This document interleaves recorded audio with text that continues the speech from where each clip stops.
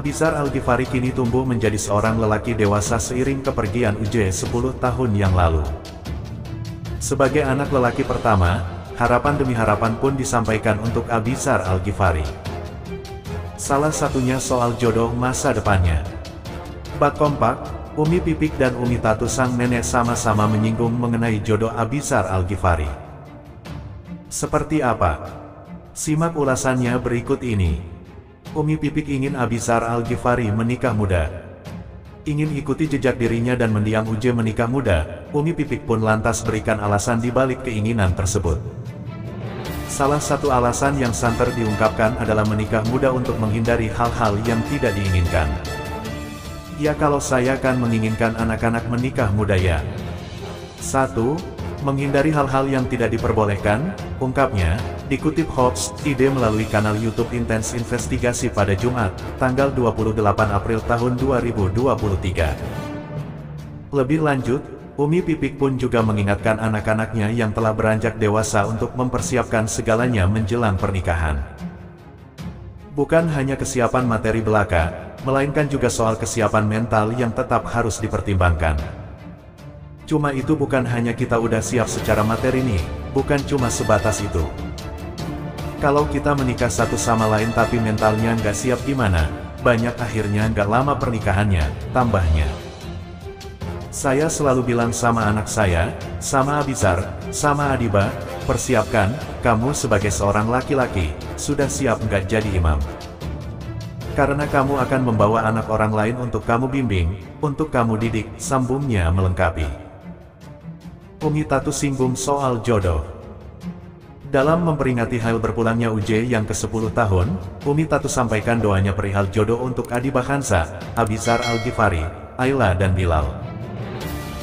Buat pipik yang masih ada, yang kayak Umi juga masih ada di dunia sama anak-anaknya. Semoga Allah itu kasih itu anaknya soleh dan solehah.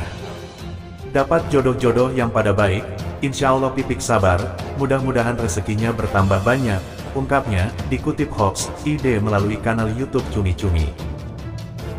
Mudah-mudahan Abisar tambah naik derajatnya, menjadi mubalik seperti abinya, pungkasnya. Penampilan Abisar Al-Ghifari sering kali disorot publik karena dianggap tidak mencerminkan sebagai anak seorang Ustaz Jeffrey Al-Bukhari. Padahal, penampilannya saat ini malah semakin mirip dengan almarhum Uje saat muda. Hal itu diungkapkan oleh Ibunda Ustaz Jeffrey Al-Bukhari, Tatu Mulyana. Umi merasa bangga dan terlihat Abi juga cakep kan, wajahnya juga kalau direndengin hampir mirip juga.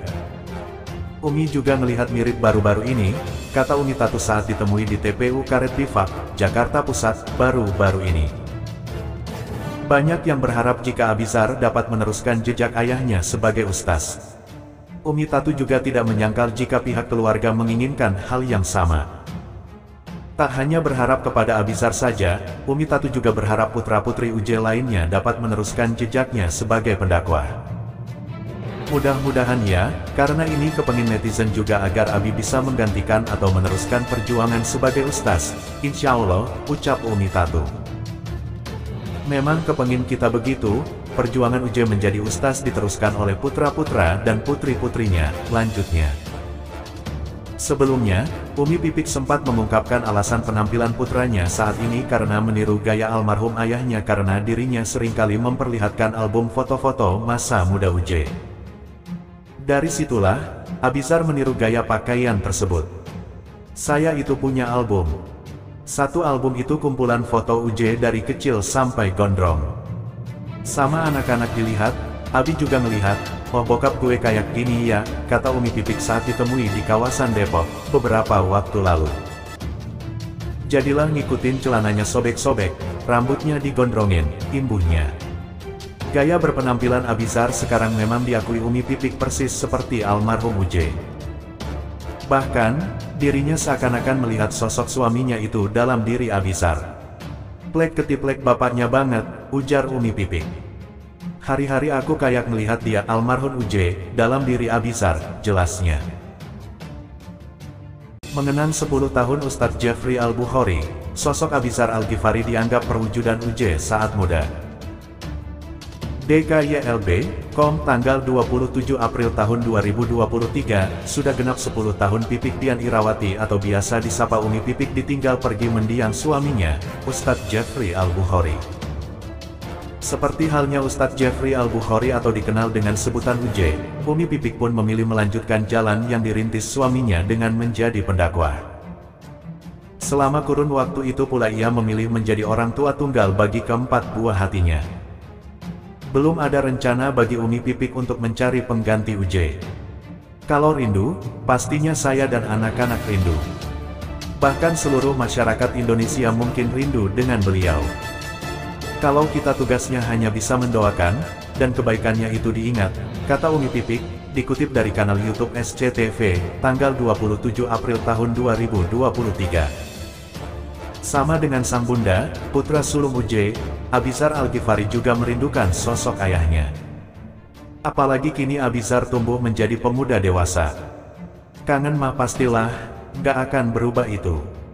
Kita coba kumpul sama teman-teman almarhum mengenang memori, mengetahui apa yang keluarga tidak tahu, ujar Abizar Al-Ghifari. Ibunda almarhum Uje, Umi Tatu yang menggelar 10 tahun haul anaknya merasa bangga karena banyak orang yang datang untuk bersiarah dan berdoa di makam almarhum. Oleh sebab itu Abisar Al-Ghifari mengadakan acara haul dan mengundang para ulama dan sahabat Ustadz Jeffrey Al-Bukhari. Dan yang memimpin doa di acara haul akbar ini adalah putra almarhum Ustadz Uje yakni Abisar Al-Ghifari. Semua kenangan tentang almarhum baik gaya dakwah serta kebaikannya akan selalu diingat oleh orang-orang terdekatnya. Alhamdulillah,